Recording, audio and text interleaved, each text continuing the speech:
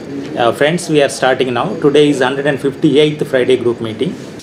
Uh, the speaker is uh, Justice uh, retired uh, Narasimha Reddy Garu, uh, former Chief Justice of Patna High Court. Now he is practicing as a senior advocate here.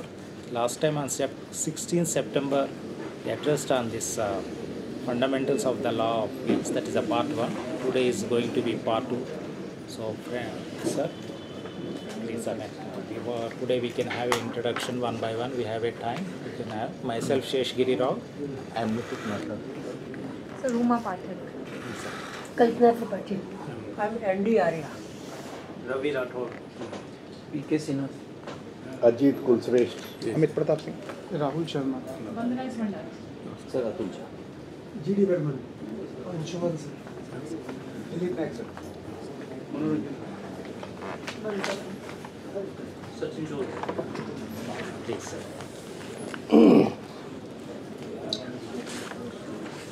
evening, friends. It is my privilege to have some discussion with you about the law of wills. Earlier, we covered the fundamentals of law of wills. It was mostly about the making of wills, and the concentration was mostly upon the aspect of attestation. In continuation of that, I propose to deal with some of the other aspects. But let me be very clear to you that even this part two, we may not be able to cover the whole of the law of wills because it is uh, very vast. Today we will start with uh, a, an intermediary or hybrid variety of will. We have seen that under will, what accrues to another person is an invol- involuntary accrual, something like in the as under the gift. Under the gift also, property accrues to a third person without any consideration.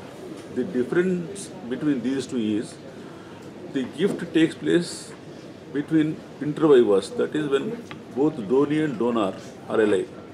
Whereas under the will, the accrual the bequest take place after the death of the testator. There is an intermediary cate- category of that, that is known as donatio mortis causa. It resembles the gift in one aspect and resembles the will on another. Suppose a person is seriously ill and he is contemplating death. He has some immovable, not immovable property, movable property with him of substantial value. Then he intends, he does not have the time or facility to execute a detailed will. Then he may hand over those valuable goods to another person of his choice with the intention that in case he dies out of the serious illness, those properties shall accrue to the person to whom the possession is given. Now here, the giving of those movable properties by the person to another resembles the gift in the sense the possession is delivered to the other person during the lifetime of the owner of the goods.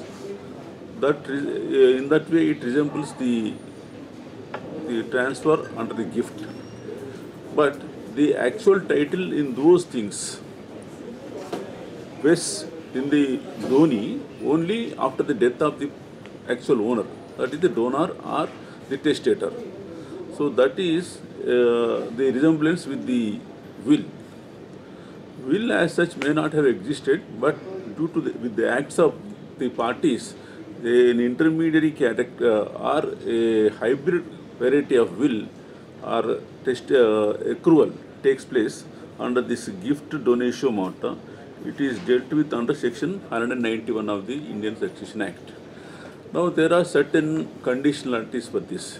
Invariably, it shall be only in respect of movable properties. Second is the delivery of possession must take place at a time when the owner of the goods is seriously ill and actually contemplating his death. Second, that is second aspect. Third is the delivery of the goods, that is movable property, shall be absolute in form, not conditional. let us say the valuable properties, gold or some other valuable articles are contained in a box. The possession of the box is delivered, but the key is kept with the owner of the course. Then the event does not take place. Second, he gives one key and keeps with him a duplicate key. Even then, it does not fructify or materialize into a, a actual disposition in the form of a will. So the delivery of possession, physical possession of the property must be absolute and unconditional, and the actual title would vest in the donee or the recipient only after the death of the person who gave it. So this is a hybrid form of will. The examples are also furnished in that, and uh, any lack of or nothing short of absolute delivery of possession would fructify into the the accrual of the property to the donor. Thereafter, we shall deal with the aspects of family law on that. Normally, will can be executed by anyone in respect of his self-acquired properties. But in case of persons governed by Islam or Muslim uh, Muslim law, there is some restriction. He can execute a will only in respect of one third of his self-acquired property and not exceeding that. The remaining two third must be divided among the his legal heirs in accordance with the law of succession of that particular religion. There, uh, here again, there is an exception. First, the in case he does not have any legal heirs at all, maybe an exception or a rarity, but in case the person does not have any legal heirs, he will have the liberty or the right to execute the will in respect of the property exceeding one third. There cannot be any serious exception to that also.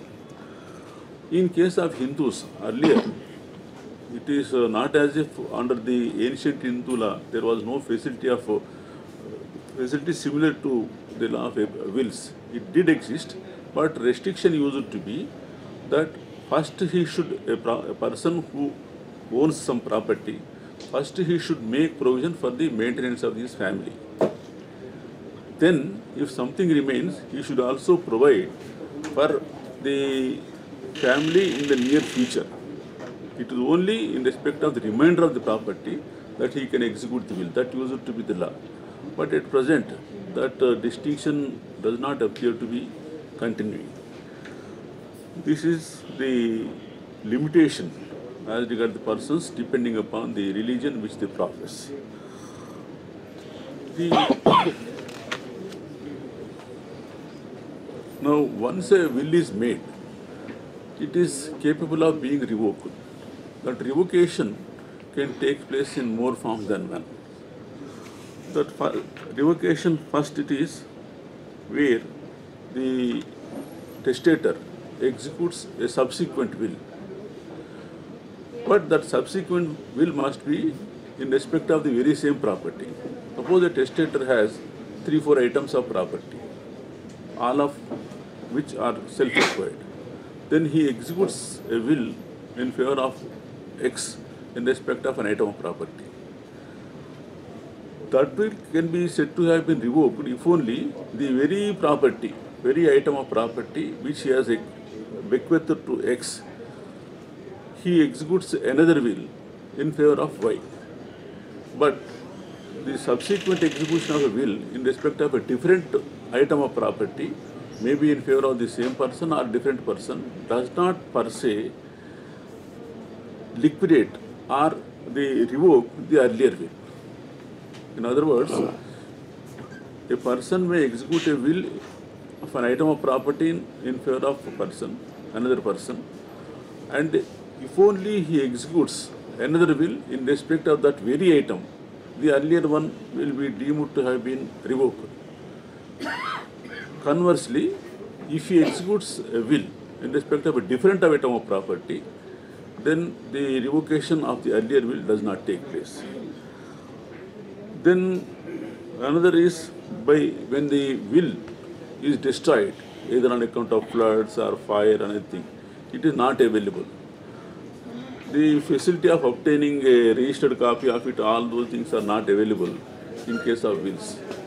What is contained in, uh, it is not, if the original will is lost, there is no way it can be retraced or regained. Therefore, it will be deemed to have been revoked.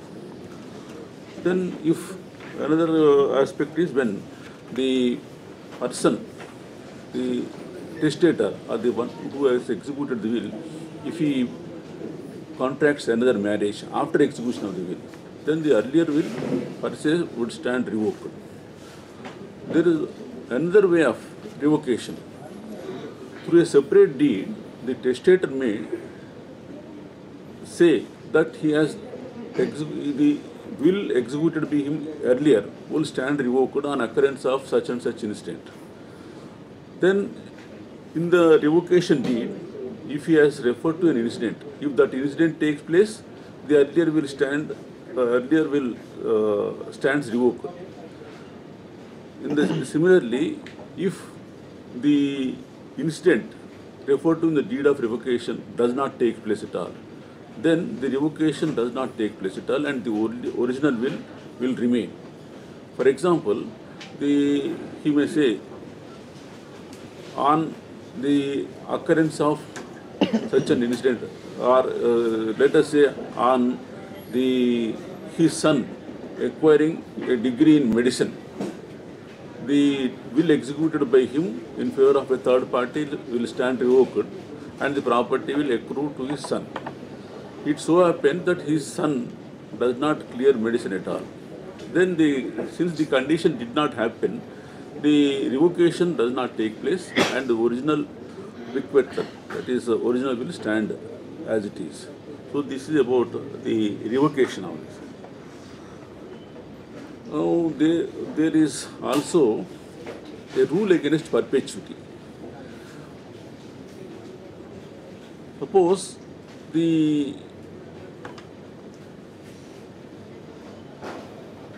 person bequests the property, no doubt, but he puts a condition that it will take effect. Initially, it will be in favor of A, thereafter, after death of A, in favor of B, and after B, it will take place into in favor of his son, whoever is uh, elder or whatever it is. Then this perpetuity cannot be permitted at all. It says the section 114 114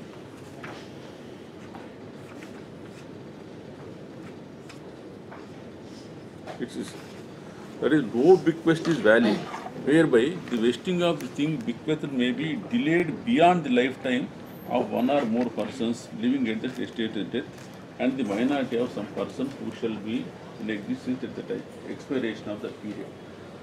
The,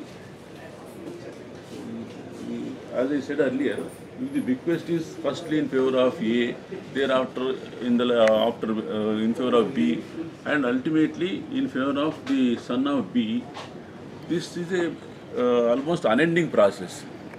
Law does not permit of that. Therefore, it says it shall not be the bequeathal or the disposition shall not be delayed beyond the lifetime of one person and the minority of another. At the most, he can say, I bequeath this property in favor of A for his lifetime and thereafter his uh, son on his attaining majority. To that extent, it's okay. It will uh, be valid because lifetime of one person and the majority of another after the lifetime of the initial legatee.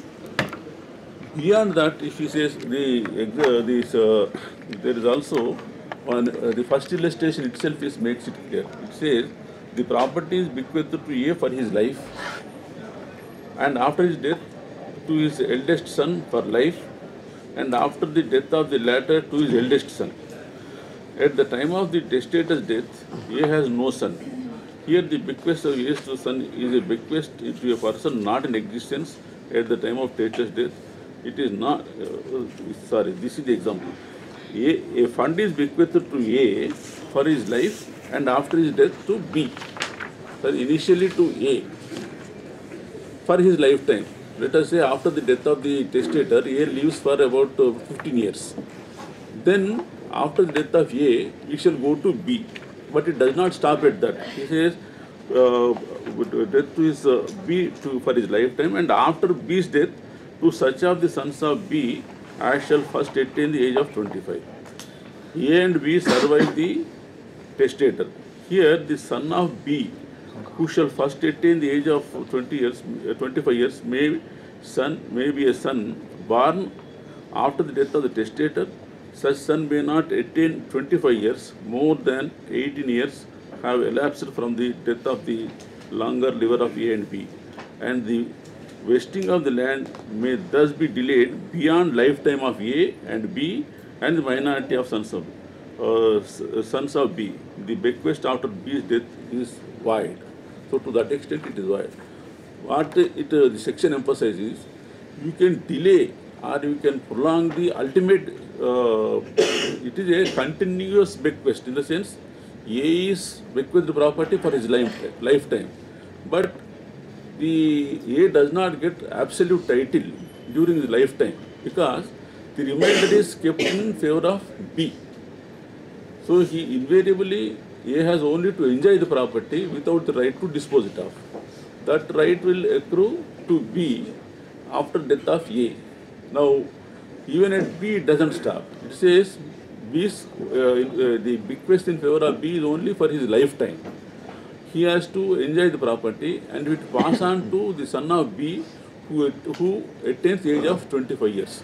So it is almost a unending process what law permits is at the most you can delay or you can limit the bequest in favor of a living, living person till his lifetime and 18 years in the sense the person in whose favor the property is bequested may have a son and uh, the with a view to benefit the bequest in favor of the son unborn son it should end at that not more than that so lifetime of one person and 18 years thereafter, contemplating that even if a person is born at that time, he, he will get majority by that time. So it cannot spill beyond that. So it is rule against perpetuity. That is also in a, in a sense contemplated of the transfer of property also in a different way. Then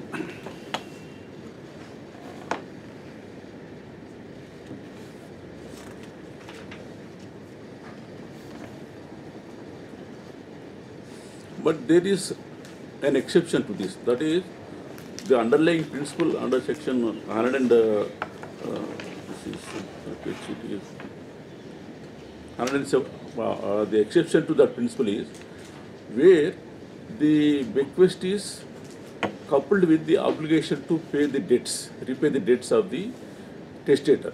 Suppose the testator has huge amount of debt, uh, debt and at the same time vast extent of property. So he bequests both property and debt. If the payment of debt takes place beyond the lifetime of a person and 18 years also, it does not become void. Otherwise, it becomes void if it spills over beyond the lifetime of one person 18 years. But the exception is where the bequest is coupled with the obligation to pay debt. Pay debt. If the payment of debt is spilling over the lifetime of an individual and the uh, 18 years, it does not get void because it is uh, coupled with obligation. Even if it takes some more time, it has to be honored. That is the exception to that. Second exception is where, let us say, a building, a, a monumental building is bequeathed to an individual. Its maintenance needs uh, quite a uh, bit of amount and for that provision is made for the rentals from any building and all that. The will may provide that the rental or any other form of income accruing from, from the property does not go to the legatee or the donee and it should be utilized only for the upkeeping upkeep of the property. Ownership of the property would vest in the donee, but the income derived out of it needs to be spared for the maintenance and upkeep of the building. In such case also, the exception is carved out and uh, it can spill over beyond the lifetime of an individual and 18 years.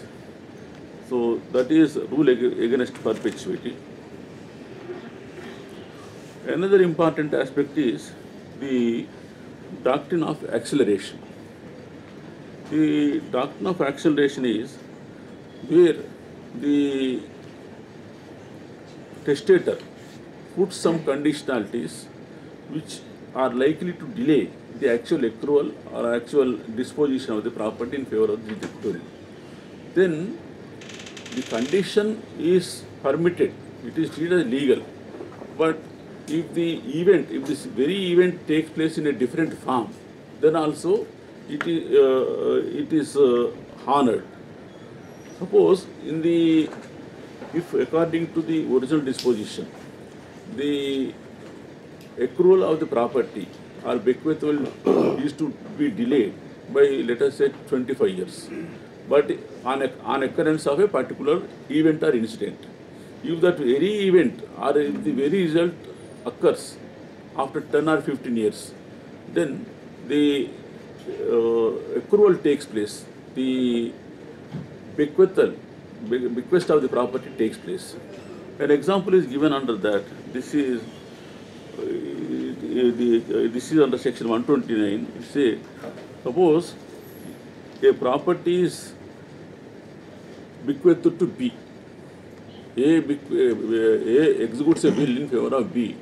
He says that subject to the condition that if B fails to execute a document of a particular description within, let us say, 20 years or 30 years or one year. If he fails to do that, the property shall be bequeathed in favor of C. If he, if B does the, those things within the time, the property rests with the uh, B only. But if he fails to do a particular act, then the property passes on to C. This is the type, of, this is the purport of the will. Now, what does it mean? In the in the event of failure on the part of B, let us say to execute a will or whatever it is, uh, to execute a document, or to adopt a son, or to do some other thing, construct a building or establish an institution. If that is the condition, if he fails to do any of those things, the alternative bequeathal in favor of C takes place. Now here, the let us say B died earlier. So instead uh, the, the question of his undertaking any other thing does not arise. Therefore, once B dies, the next accrual in favor of C takes place without waiting for that. So an event which was to take place after a particular time, maybe a longer time, will stand advanced, that is acceleration, doctrine of uh, acceleration. The ultimate bequest has been accelerated on account of an event which was not contemplated under the will at all, but with the same result. There, there was to be a failure on the part of the initial uh, legatee, initial legatee. That failure has taken place on account of his premature death. Either way, the there was a failure or non-compliance with the incident, which in turn has resulted in accrual of the property to the subsequent legatee, that is C. So this is doctrine of acceleration. now,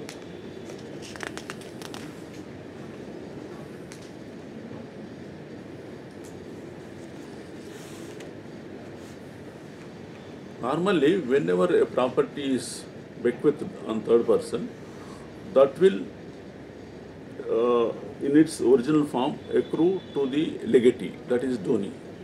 But there is bound to be fluctuation. We have seen the concept of ademption also. Ademption is where, suppose the i- under the impression that he a particular property belongs to him, the testator executes a will in favor of a third person. He dies. By the time the will is sought to be put to execution or to operation, it emerges that the testator does not have any title to the property at all. Or it ceased to exist, or it is stolen, or it is, or the testator himself may have sold it away during his lifetime. In such case, ademption takes place and the will becomes almost uh, invalid. Now, this where the will is in respect of the property as a whole held by the testator, it is subject to fluctuation. In contrast, if it is in respect of a specified item, then that either that item accrues or doesn't accrue. But where it is in respect of unspecified, but uh, uh, the uh, unspecified and uncertain property, then it is subject to fluctuation. Either it may diminish by the time the testator dies, or it may increase also. Suppose if he says all the property held by me, by the time the will, was executed, he may have his bank balance at let us say 50 lakhs. By the time he dies, it may be 70 lakhs. So, though initially what was in existence was 50 lakhs when the will was executed, the legatee or the donee will be entitled to 70 lakhs if it was there by the time of the death of the uh, testator. Similarly, if it has diminished on account of premature withdrawal or whatever it is, the, he will get only the whatever amount was remaining. This fluctuation is bound to be there, where the the will is in respect of an unspecified but a generally described property. The another aspect is the fluctuation may take place on account of change in law. At a time when the will was made, let us say there was a, a particular regime of law under which he was entitled to retain a particular property. Let us say land ceiling, urban land ceiling. These are the things. He, when the will was made, he may have been holding an acre of land, or let us say 5,000 uh, square meters of land he was entitled to remain. He, he was owning, and he executes a will. In between the date of will and the death of the testator, a law comes, urban land ceiling. You are not supposed to hold that much of land. You are entitled to retain only 1000 or 2000 square yards or square meters. Rest of it vests in the government. So, though the will was in respect of 5000 uh, square meters, it stands restricted to only 1000, 2000, which is permissible under law. There is a likelihood of its increase also. How suppose he was a, the uh, testator was a tenant. The tenant was uh, having only tenancy rights in respect of land. Now the agrarian reforms come to place, whereunder the tenants are conferred with the ownership rights also in respect of some land. So though what was created under the will was only a right under tenancy, that is rights in respect of land. The, initially they were tenancy rights, now they may ripen into ownership rights also. So by operation of law, either the legacy, uh, the the uh, the property bequeathed under will either may either it may diminish or increase in its extent or value or uh, in volume. These possibilities are there.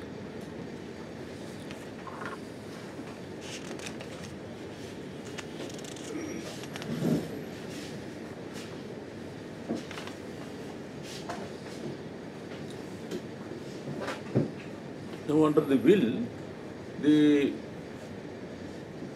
testator may use a particular expression which may be typical to the area or community. The, while interpreting the will, one has to keep that into, uh, take that into account. Sometimes there may be overlapping also, and the net result has to be taken into account. One illustration which is given there is, the testator makes a bequest in favor of two persons. One he says, my land which is in possession of Mr. X, I am hereby giving it to Mr. Y. So whatever is possessed by Mr. X or uh, Mr. X is given to Mr. Y.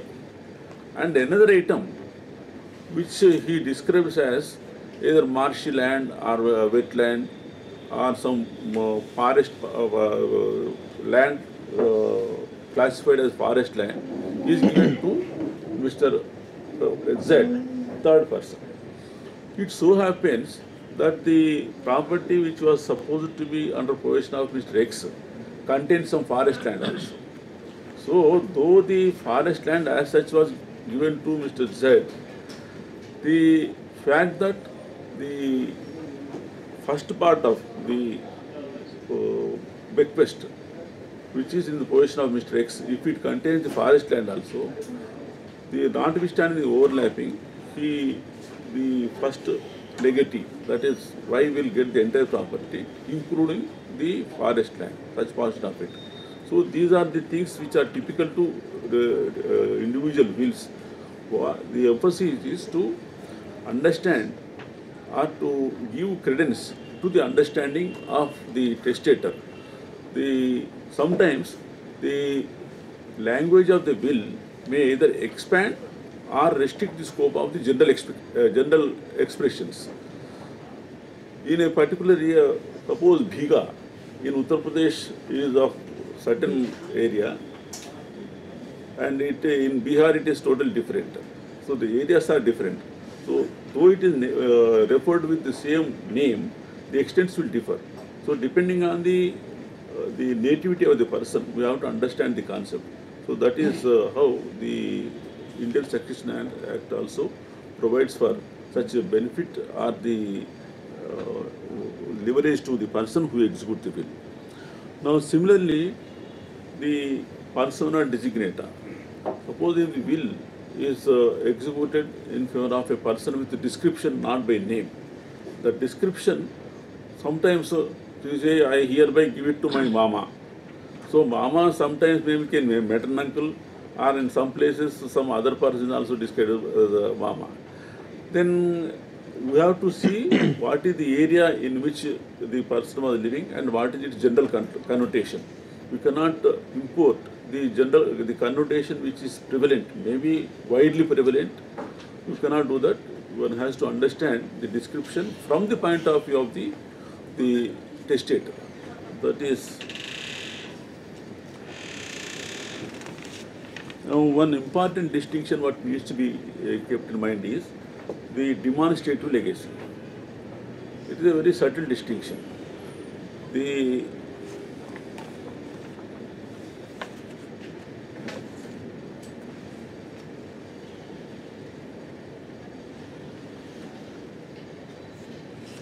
the contrast is between specific leg- uh, specific uh, legacy and demonstrative legacy. Specific legacy is the one in respect of which a, a specially described item is donated by a testator.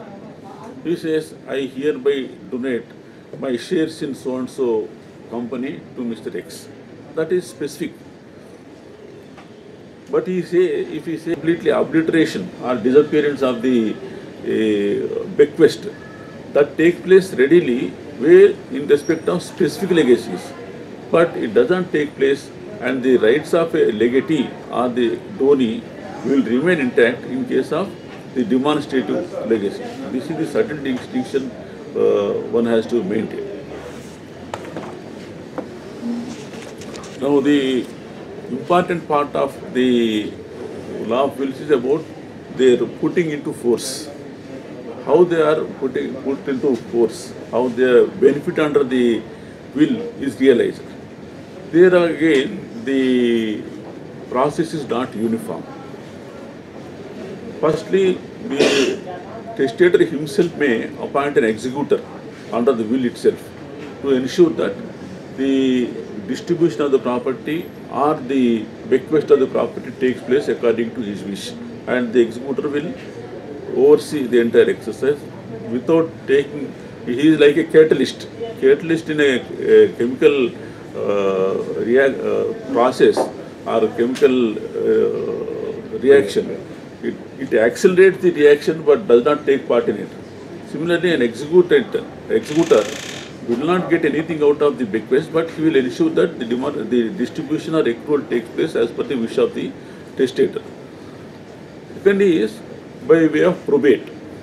Probate is generally, of course, the law there is now uniformity about this. Generally, probate is uh, resorted to in presidency towns.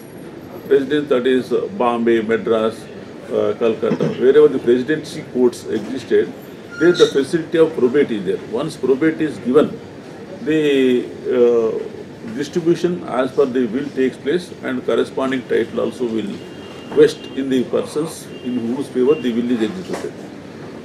So the another form is by going to letter of administration. Letter of administration is available, can be taken from any court of competent jurisdiction, any place. And once that is, letter of administration is taken, that in turn gives rise to the accrual of the property or putting the property to the persons whose favor, in whose favor the, uh, the bequest is made.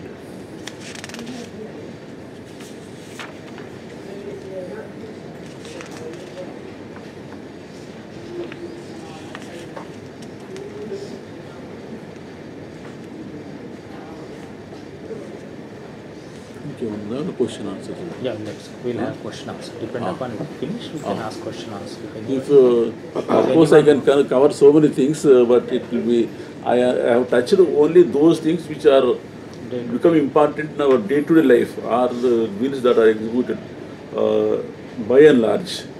There are so many other niceties, how the will is to be executed, uh, the, the interpreted, so many other things are, I have touched some important aspects which we come across in our day-to-day practice in life. If you have got any doubts on that, uh, I'll be able to. Any questions, please, Sir, Amanda. suppose if a bill is executed for property number A and B in 2011 You come, you come. In favor of uh, one son. Thereafter, in 2018, the mother executes a general power of attorney relating to property A in favor of his uh, next son. In that condition, what will be the validity No, of no, that first will? you tell me who is the, Mother, of, who executes the will? Mother executes will for property number A and B in favor of X. X. Thereafter, in 2018, she executes a This is in power- 2011. Yes, sir. Uh, 2018, She executes a general power of attorney, Ah. giving power to sell to his other son, Y. uh, A and B are also sons. A and B are sons. Uh, X and Y, A and B are the property, X and Y are sons. A and B are, So there are two properties, A and B. A and B properties. uh, A and B property. X is son, Y is another son. Uh, Fine. Bill is executed in the year 2011 for uh, property number A and B in favor of X. mm, Then in 2018, the mother executes a general power of attorney in Hmm. favor of another son Y for property number A. A. Then what will be the validity of that will? No, all those questions will arise only after the death of mother. Is mother alive? Ye- Now she is died. Now she is expired in 2020. No, what did uh, why do? GPA, GPA ties with the executed. G- what he did, he sold the property on the basis Ah. of GPA. Yes. Then uh, the, the, the sale becomes valid. Sale becomes valid. Yes. And Because though A and B may have been uh, bequeathed in favor of uh, X, you will get only those properties which are remaining by the time the testator, that is the mother, died. so The mother GPA could have mother could have sold the A and B, whole of the properties also. So there is no prohibition against her simply because she executed a will uh, that time.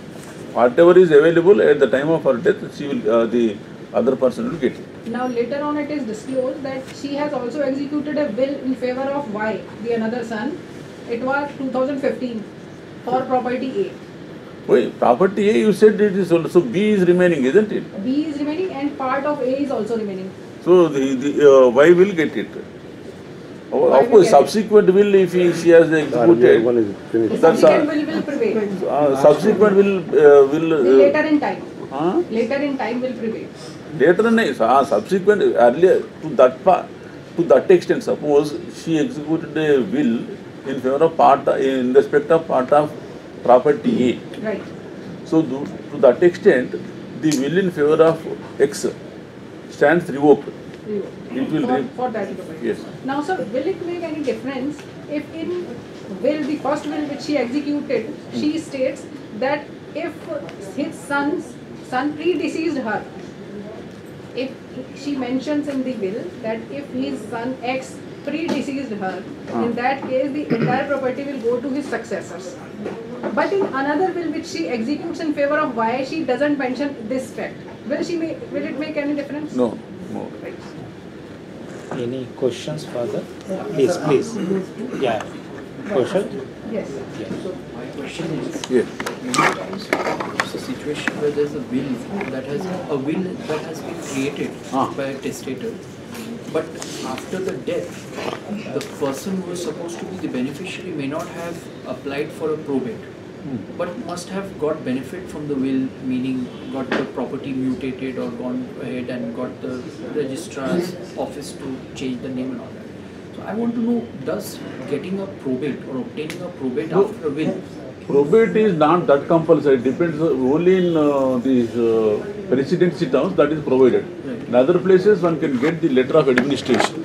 Or it can, uh, uh, once it is put into the court, straight away also, suit can be filed claiming the benefit under will, in which case you have to prove the execution of the will and you have to explain the suspicious circumstances. So even assuming there is a probate, that if there is a probate which has been obtained, even then, if there is any question relating to the validity of the will, that has to be answered. Yes, Based here on the probate is only to the extent of uh, adding some executability to the will, but it is always subject to the uh, proof of its uh, attestation and the explaining away of the suspicious circumstances. It can be challenged at any time. Ah, anytime, anytime. So the, the person who is otherwise to get the property under the uh, general rule of succession will always be entitled to question that. Yeah, please. Uh, yes, sir. Sir, A execute a will on his adopted son. A is executed, a will on his adopted son. Adopted son. He adopted son. In his name, he executed. What, sir? Adoption. Through adoption. Yeah, through adoption. After his death, can the biological uh, son or daughters they ca- claim that property? How can there be adopted son when biological son is there? Most of the time, that happens. sir, Actually, they adopted. No, no, no. Adoption is Adoption can take place only when there are no natural. uh, Any on, other adoption questions? के बाद. Is born later, that's a different thing. That- that's all. Right?